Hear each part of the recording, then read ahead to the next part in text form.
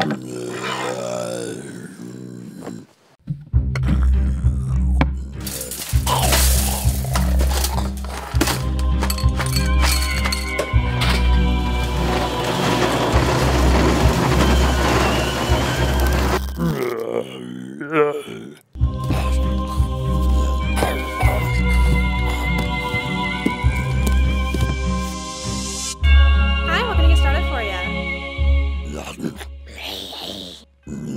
Do you like that iced or hot? All right, I'll get that right out.